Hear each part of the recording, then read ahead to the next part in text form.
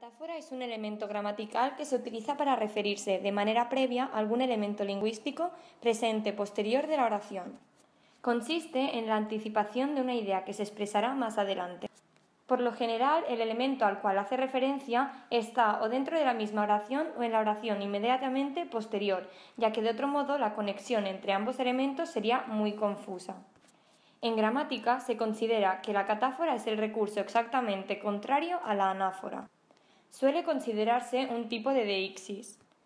La deixis es la parte de la semántica relacionada con las palabras que sirven para indicar otros elementos. He puesto dos ejemplos. El primero sería, no te lo pienso volver a repetir, no entres con el perro a casa. El pronombre lo hace referencia a la oración posterior, no entres con el perro a casa. Y el segundo ejemplo sería, hoy me ha dicho esto, jamás te mentiría que el pronombre deíctico esto hace referencia a la frase jamás te mentiría.